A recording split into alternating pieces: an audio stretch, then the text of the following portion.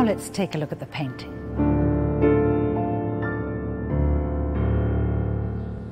So here we have the glorious Venus at the center of the painting.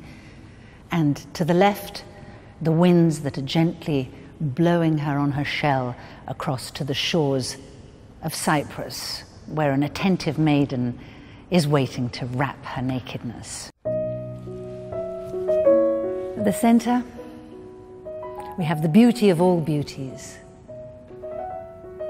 the goddess Venus.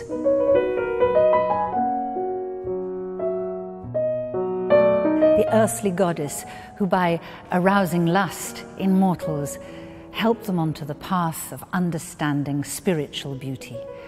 And so, in 15th century Florence, Botticelli intended, by offering this image of female perfection, to raise the minds of the viewers, to lift them into the realms of divine love.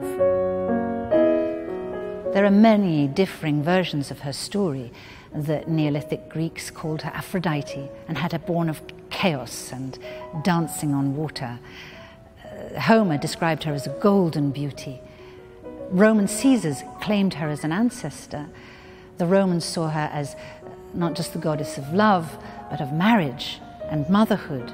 She was mistress of the graces. She was the mother of Eros and the symbol of sexual love.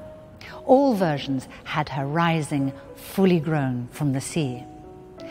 One particularly powerful story tells of how Kronos killed his father, Uranus, sliced off his testicles, threw them into the sea, where they created a furious bubbling foam out of that foam was born the most beautiful woman.